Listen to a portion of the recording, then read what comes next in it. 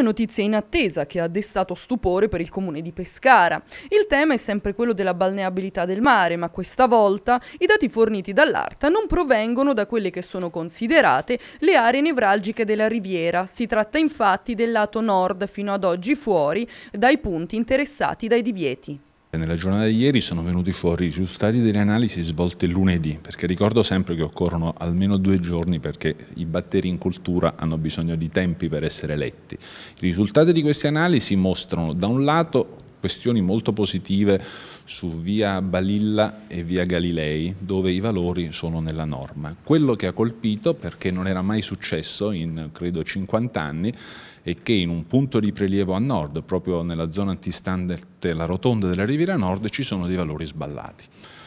Che cosa abbiamo fatto? Noi, consapevoli che lì vicino c'è un fosso che approda al mare, cioè Fosso Mazzocca, abbiamo ispezionato il corso del fosso. Il fosso è secco e quindi non abbiamo motivi di ritenere che da lì vi siano delle perdite.